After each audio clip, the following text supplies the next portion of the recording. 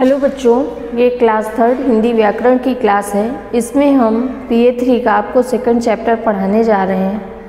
Chapter बारह, अवकारी शब्द या अव्यय के विषय में हम आपको आज बताएँगे कि अवकारी अव्यय शब्द क्या होता है और इसकी परिभाषा क्या होती है। आपने संज्ञा, सर्वनाम, विशेषण, क्रिया आदि के संबंध में हमने आपको जानकारी दी, ये चैप्टर हमने आपको पढ़ा है कि संज्ञा क्या है, सर्वनाम क्या है, विशेषण क्या है, क्रिया क्या है। अब हम पढ़ेंगे अव्यय। मतलब इस अध्याय में अव्यय शब्द के बारे में बताया जाएगा, जिनके रूप, लिंग, वचन, काल, कारण कोई परिवर्तन नहीं होता है। उन्हें हम अव्यय या अविकारी शब्द कहते हैं।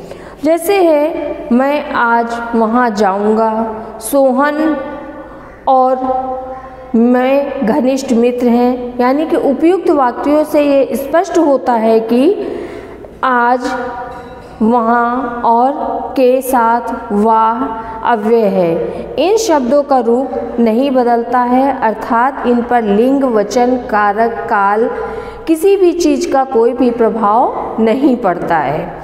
तो हम सबसे पहले देखेंगे कि अव्यय या अविकारी शब्द किसे कहते हैं, इसकी परिभाषा को देखेंगे।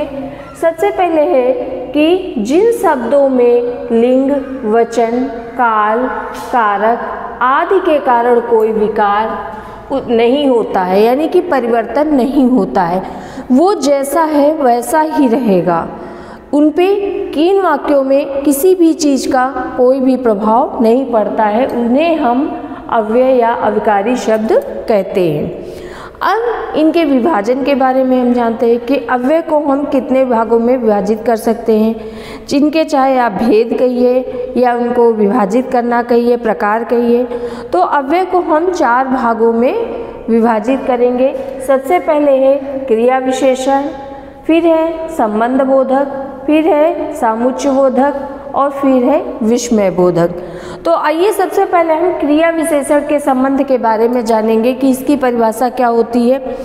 क्रिया विशेषण जो शब्द हैं, वो क्या करते हैं? क्रिया की विशेषता बताते हैं। जैसे, आप पढ़ने में बहुत अच्छे हो, यानी आपकी विशेषता क्या है कि आप बहुत अच्छे हो। घोड़ा तेज दौड़ता है, यानी घोड़े की क्या विशेषता है कि वो तेज दौड़ता है। तो इसमें जो क्रिया कर की जा रही है, उसकी विशेषता जो बताई जाती है, उसे हम क्रिया विशेषण कहते हैं।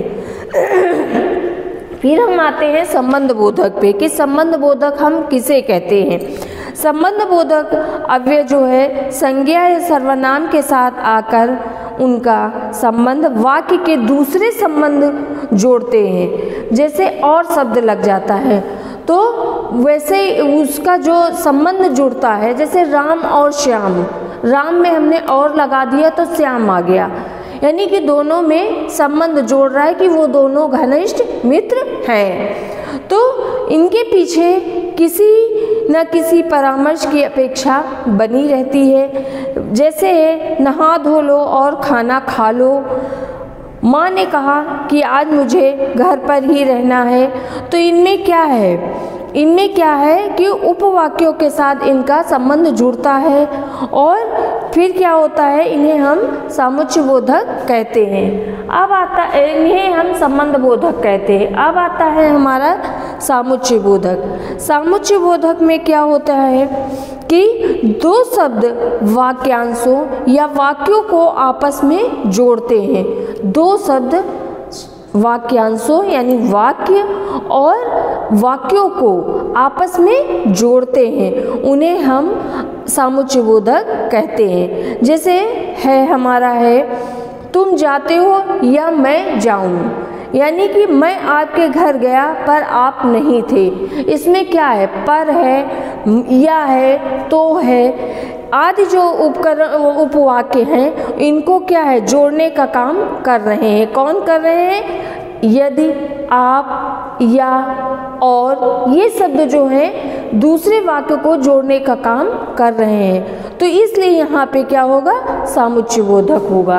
अब यहाँ पे आता है विस्मय बोधक विस्मय बोधक में क्या होता है कि जो अव्यय शब्द, विस्मय, हर्ष, शोक, घृणा इसको प्रकट करते हैं, उसे हम विस्मय बोधक कहते हैं। मेरे आश्चर्य जिसमें प्रकट हो, उसे हम विस्मय बोधक कहते हैं। अब इसमें क्या होगा? इसमें क्या होता है कि अरे अरे आप आ गए।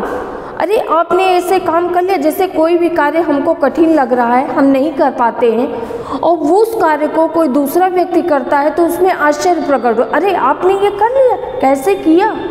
तो उसमें हमने आश्चर्य, विस्मय मतलब जो चीज़ की कल्पना नहीं कर सकते, वो काम उसने कर दिखाया। तो इस, इन वाक्यों में क्या है कि उसे हम विस्मयादिबोधक कहते हैं। अब हम आते हैं कि क्रिया विशेषण के भेद। यानी कि क्रिया विशेषण के कितने भेद होते हैं?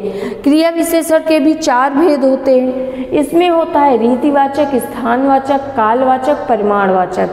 अब इसमें देखते हैं कि हम क्या कर, क्या हमको बताया गया है। सबसे पहले आता है रीति, रीतिवाचक। जो शब्द क्रिया की रीति या विधि के बारे में बताते हैं, यानी कि हमारी परंपराओं के बारे में बताते हैं, हमारी संस्कृत के बारे में बताते हैं, उन्हें हम क्या कहते हैं? रीतिवाचक क्रिया विशेषण कहते हैं। जैसे है, घड़ी धीरे धीरे चल रही है। रघु ध्यानपूर्वक पढ़ रहा है। ये इसके उदाहरण हैं। कुत्ता तेज दौड़ रहा है। तो यानी कि इसमें घड़ी का धीरे धीरे चलना, उसकी विधि के बारे में बताया गया कि घड़ी धीरे चल रही है। राम ध्यान पूर्वक पढ़ रहा है। यानी कि इसमें राम की जो विधि बताई गई, तरीका बताया गया, रीति बताई गई, वो है ध्यान पूर्वक उसका पढ़ना। तो इसमें क्या है? क्रिया विशेषण है। अब आते हैं स्थानवाचक में। स्थानवाचक में के जो शब्द क्रिया के स्थान का बोध कराते हैं, जो शब्द क्रिया के स्थान का बोध कराते हैं, उन्हें हम स्थानवाचक कहते, क्रिया विशेषण कहते हैं। स्थानवाचक क्रिया विशेषण कहते हैं। अब जैसे यहाँ हम कुशलता पूर्वक हैं, यानी स्थान के बारे में कि हम जहाँ भी हैं, उस स्थान पे हम कुशल पूर्वक है, ठीक हैं। धर्म की सर्वत धर्म की सर्वत विजय हो। यानी कि धर्म जहाँ भी, जो भी धर्म है, जैसा भी है, उसकी सदैव ही विजय हो। फिर आता है कालवाचक। अब कालवाचक में क्या होता है? जो कि जो शब्द क्रिया के काल या समय का बोध कराते हैं। यानी काल या समय का बरोध हमने आपको काल पढ़ाया था। पढ़ाया है, उसमें हम क्या पढ़ाया? हमने भूत पढ़ाया, वर्तमान पढ़ाया, भविष्य पढ़ाया। भूत जो बीत चुका है, वर्तमान जो चल रहा है और भविष्य यानी कि जो आने वाला है।